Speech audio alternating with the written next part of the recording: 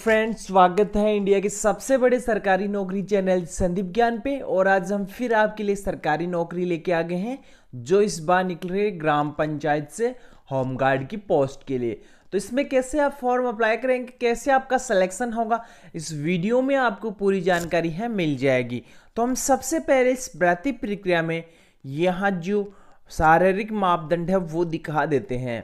यदि आप होमगार्ड की भर्ती प्रक्रिया में शामिल होना चाहते हैं तो आपकी लंबाई होनी चाहिए। यदि आप पुरुष कैटेगरी से हैं तो एक सौ बासठ सेंटीमीटर आपकी हाइट होनी चाहिए, सामान्य ओबीसी और बीसी के कैंडिडेट्स के लिए। तो यहाँ पुरुषों के लिए ये विशेषकर जो है, इसमें लंबाई कितनी रखी गई है? एक सौ बासठ सेंटीमीटर सामान्य और ओबीसी, बीसी के लिए। और यदि महिला कैंडिडेट इसमें फॉर्म अप्लाई करना चाहती हैं तो उसकी हाइट होनी चाहिए एक सौ अड़तालीस सेंटीमीटर सभी कैटेगरी के कैंडिडेट्स के लिए। तो यहाँ ये हो गई लंबाई संबंधी डिटेल्स इसके बाद में टू नंबर में यहाँ आपको बताया गया है चेस्ट यहाँ केवल पुरुषों के लिए अनिवार्य है चेस्ट यहाँ देख सकते हैं।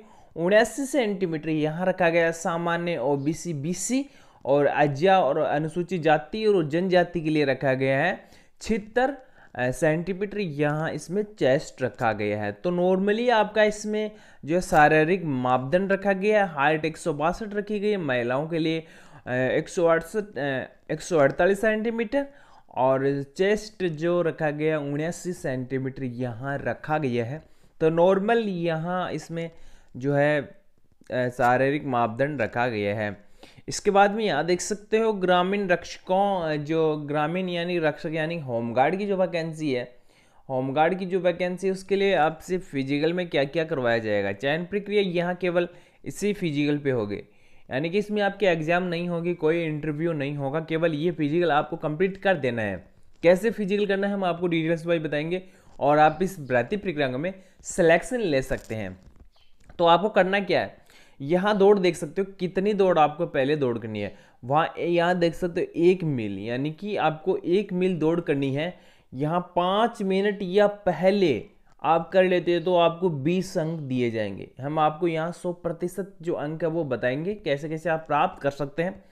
यहाँ यदि आप पाँच मिनट से पहले एक दौड़ कंप्लीट कर, कर लेते हो तो आपको 20 अंक दिए जाएँगे। यदि पाँच मिनट से अधिक समय लेते हो और छः मिनट तक कर देते हो तो आपको 10 से अंक दिए जाएँगे। छः मिनट से अधिक समय लेने वाले अयोग्य माने जाएँगे। इन द इन द क्वालिफाई इन क्वालिफाई कर दिया जाएगा इन द रेस तो यहाँ नॉर्मल सा है कि दौड़ करनी है आपको वन मील वन मील ही आपको यहाँ दौड़ करनी है। और इसके बाद में यदि कोई महिला कैटेगरी कैंडिडेट्स हैं तो उनको वन मील की दौड़ करनी है आठ मिनट में, या उससे पहले आपको बीस अंक दे दिए जाएँगे।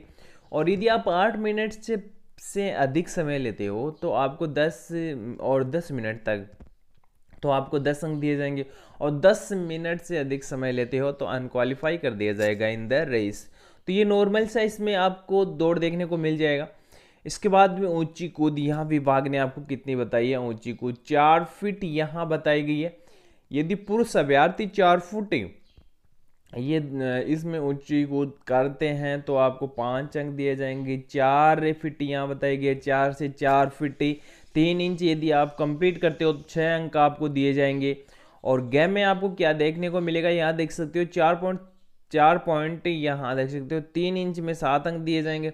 और यहाँ देख सकते हो, अधिकतम आपको यहाँ जो ऊँची कूद कूदनी है वो है पाँच, और यहाँ यदि आप पाँच से अधिक ऊंचाई कूद कूदते हो तो आपको यहाँ दस अंक दिए जाएँगे। तो ये डिटेल्स है, और महिला कैटेगरी कैंडिडेट्स को अधिकतम अंक दिए जाएँगे चार इंच फुट पे ठीक है, चार फुट पे सबसे अधिक अंक दिए जाएँगे, दस अंक दिए जाएँगे आपको। लंबी कूद भी आपकी जो फाइनली रहेगी, वो रहेगी सोलह और सोलह से अधिक तो आप दस अंक ले सकते हो। और इसके बाद यहाँ महिला कैटेगरी कैंडिडेट्स के लिए है लास्ट है तेरह। तेरह फिट है, तेरह से लेके तेरह से लेके अधिक। यदि आप इसमें जो है लंबी कूद लगाते हो तो आपको अच्छे नंबर मिल जाएँगे। शॉर्ट फुट होगा सोलह पाउंड का। और न्यूनतम इसमें आपको सोलह फुट है। और इसके बाद में दस फीट रहेगा महिलाओं के लिए। ये तो है इसमें नॉर्मल से यहाँ देख सकते हो। कितने नंबर आपको यहाँ मिल गए तो ये नंबर इस प्रकार आपको मिल जाएँगे। इसके बाद में आपको कौन कौन से सर्टिफिकेट से और नंबर मिल जाएँगे? यहाँ इसमें और बताए गए हैं, अभ्यर्थी जो राष्ट्रीय राज्य स्तरीय खेल में पुरस्कृत हैं। यहाँ देख सकते हो, प्रथम, द्वितीय और तृतीय। राष्ट्रीय कितने अंक मिलेंगे? छः अंक आपको मिल जाएँगे। दो अंक आपको मिल जाएँगे सॉरी चार अंक मिल जाएँगे, दो अंक मिल जाएँगे। तो यहाँ ये अंक आपको मिल जाएँगे। इसके बाद में यहाँ देख सकते हो, यदि आपने ग्रेजुएशन कर रखी है, दस अंक आपको मिल जाएँगे। स्नातक कर रखी है, आठ नंबर आपको मिल जाएँगे। इंटरमीडिएट कर रखी है छः नंबर मिल जाएँगे। मैट्रिक्स कर रखी है तो आपको यहाँ इस भर्ती प्रक्रिया में चार अंक मिल जाएँगे। आवेदन कैसे जमा करना है, हम आपको एक फॉर्म दे देंगे। वो फॉर्म इस एड्रेस पे भेज देना है।